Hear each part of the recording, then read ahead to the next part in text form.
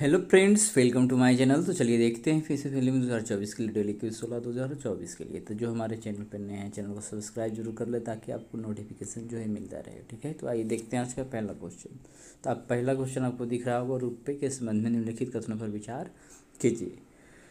ठीक है? कितने कथन सही है, यहाँ पर आपको बताना है। करेगा National Payments Corporation of India द्वारा विकसित एक भुगतान प्रणाली और वित्तीय सेवा उत्पाद है तो पहला कथन क्या है? सही है। करेगा एक घरेलू कार्ड भुगतान नेटवर्क है, जिसका उपयोग पूरे भारत में स्वचालित teller machine, point of sale, बिक्री का एक बिंदु है, ठीक है? एक बिंदु उपकरणों और ई कॉमर्स वेबसाइटों पर किया जाता है तो दूसरा भी सही ही है, ऑप्शन सी करेक्ट हो जाएगा। चलिए देखते हैं। रुपे कार्ड के बारे में तो रुपे कार्ड भारतीय राष्ट्रीय भुगतान निगम, National Payments Corporation of India, NPCI, द्वारा विकसित एक भुगतान प्रणाली और वित्तीय सेवा उत्पाद है कथन एक सही है। करैया एक घरेलू कार्ड भुगतान नेटवर्क है, जिसका उपयोग पूरे भारत में स्वचालित teller machine, point of sale, बिक्री का एक बिंदु, उपकरणों और ई कॉमर्स वेबसाइटों पर किया जा सकता है। तो आगे देखते हैं। भुगतान और निपटान प्रणाली अधिनियम दो हज़ार सात के तहत प्रधान भारतीय रिज़र्व बैंक तथा भारतीय बैंक संघ को भारत में एक सुरक्षित इलेक्ट्रॉनिक भुगतान एवं निपटान प्रणाली बनाने का अधिकार देता है। चीफ ऑफ़ डिफेंस स्टाफ के संबंध में लिखित कथनों पर विचार कीजिए। कितने कथन सही नहीं है बताना है। फिर वह सभी त्रिसे त्रिसेवाओं सेना, नौसेना और भारतीय वायुसेना मामलों पर रक्षा मंत्री के प्रधान सैन्य सलाहकार के रूप में कार्य करता है। तो पहला कथन क्या है? सही है। कर वह रक्षा मंत्रालय में नवनिर्मित सैन्य मामलों के विभाग, यानी डिपार्टमेंट ऑफ़ मिलिट्री अफेयर्स के प्रमुख होता है।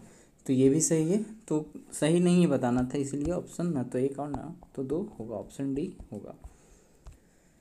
चीफ ऑफ़ डिफेंस स्टाफ का इसके निर्माण की सिफारिश वर्ष 2001 में मंत्रियों के एक समूह ग्रुप ऑफ़ मिनिस्टर्स द्वारा की गई थी, जिसे कारगिल समीक्षा समिति की रिपोर्ट का अध्ययन करने का काम सौंपा गया था। वह सभी त्रिसेवाओं नौसेना सेना, नौसेना और भारतीय वायुसेना मामलों पर रक्षा मंत्री के प्रधान सैन्य सलाहकार के रूप में कार्य करते हैं। कथन एक सही है।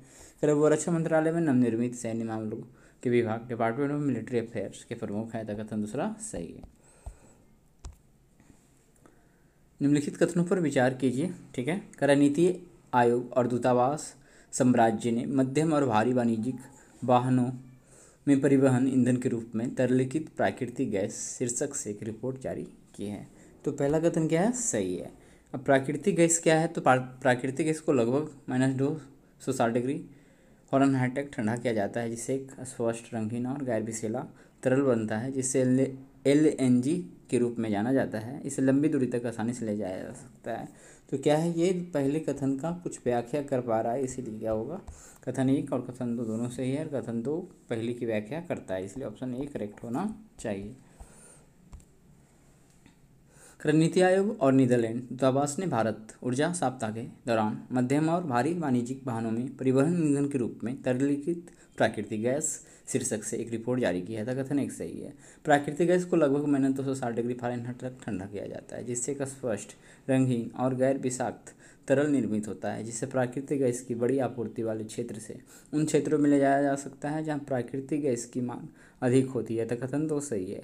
कर विभिन्न श्रेणियों में स्वर्ण कमल पुरस्कार विजेताओं को अब तीन लाख रुपये तथा रजत कमल विजेताओं को दो लाख रुपये प्रदान किए जाएँगे। इसलिए विकल्प ए सही है और कथन एक और कथन दोनों सही है और कथन दो, कथन एक की व्याख्या करता है।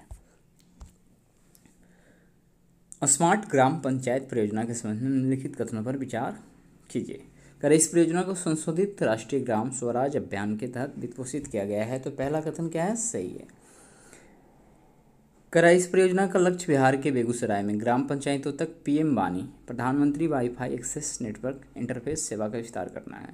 तो ये दूसरा सही है इस परियोजना का उद्देश्य ग्रामीण शहरी विभाजन को पाटना, स्थानीय स्वशासन में उत्तरदायित्व और दक्षता को बढ़ाना है, बढ़ावा देना है। तो यहाँ पे तीनों कथन सही ऑप्शन सी करेक्ट हो जाएगा। स्मार्ट ग्राम पंचायत परियोजना, इस परियोजना को संशोधित राष्ट्रीय ग्राम स्वराज अभियान के तहत वित्त पोषित किया गया है। था कथन एक सही है। करा स्वास्थ्य, शिक्षा और कौशल जैसे महत्वपूर्ण क्षेत्रों में ऑनलाइन सेवाओं तक पहुँच बढ़ाने, ग्रामीण क्षेत्रों में जीवन की गुणवत्ता में सुधार लाने के लिए प्रौद्योगिकी के उपयोग पर ज़ोर दिया गया है। इस परियोजना का लक्ष्य बिहार के बेगूसराय में ग्राम पंचायतों तक पीएम वानी प्रधानमंत्री वाईफाई एक्सेस इंटरफेस सेवा का विस्तार करना है। था कथन दूसरा सही है। कर बेगूसराय अब पीएम वानी योजना के तहत सभी ग्राम पंचायतों को वाईफाई सेवाओं से लेस करने वाला बिहार का पहला जिला बन गया है। इस परियोजना का उद्देश्य ग्रामीण शहरी विभाजन को पाटना, स्थानीय स्वशासन में उत्तरदायित्व और दक्षता को बढ़ावा देना है। तो कथन तीसरा, सही है। फीमेल जेनिटल म्यूटिलेशन के संदर्भ में निम्नलिखित कथनों पर विचार कीजिए। कितने कथन सही है? ये देखना। है कर इसमें सभी प्रक्रियाएँ शामिल हैं जिनमें चिकित्सीय कारणों से महिला जनन आंग में परिवर्तन करना शामिल है। तो ये गलत है, ठीक है? कर यह मुख्य रूप से पश्चिमी, पूर्वी और उत्तरी, उत्तर पूर्वी अफ्रीका में प्रचलन में है।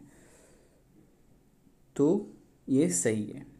कर, वर्तमान में, भारत में एफजीएम तथा एफसीएम प्रथा पर प्रतिबंध लगाने हेतु तो कोई कानून नहीं है। तो ये गलत होना चाहिए। यहाँ पे तो केवल एक ही सही दिख रहा है।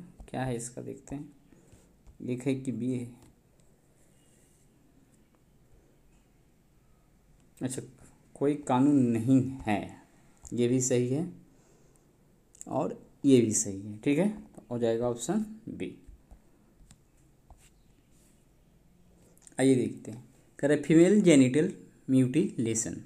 Female genital mutilation में वे सभी प्रक्रियाएँ शामिल हैं, जिनमें चिकित्सा के अलावा अन्य उद्देश्यों के लिए महिला जननांग को बदलना अथवा नुकसान पहुंचाना शामिल है और इससे अंतर्राष्ट्रीय स्तर पर लड़कियों और महिलाओं के मानवाधिकारों के साथ साथ उनके स्वास्थ्य और अखंडता के उल्लंघन के रूप में स्वीकार किया जाता है। अतः कथन एक सही नहीं है। करैया मुख्य रूप से पश्चिमी पूर्वी और उत्तर पूर्वी अफ्रीका के साथ साथ कुछ विशेष मध्य पूर्वी और एशियाई देशों में प्रचलित है। कथन दूसरा सही है। कल वर्तमान में भारत में एफ़ जी एम प्रथा